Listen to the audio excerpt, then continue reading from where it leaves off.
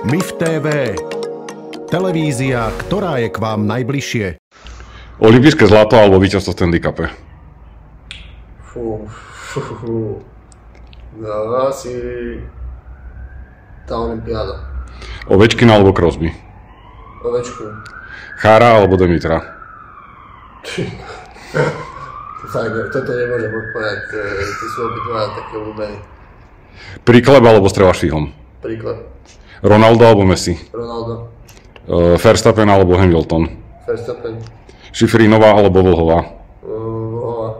Federer alebo Nadal? Federer. Psi alebo mačky? Psi. Koncert alebo kino? Uh, asi koncert. Facebook alebo Instagram? Neviem. Neviem. Sprcha alebo vaňa? Sprcha. Čokoláda alebo pizza? Uh, pizza. Hory alebo more? Asi more. Chcel by si vedieť lietať, alebo by si chcel byť neviditeľný? Uh, toto tiež neviem. Asi neviditeľný. MIF TV. Televízia, ktorá je k vám najbližšie.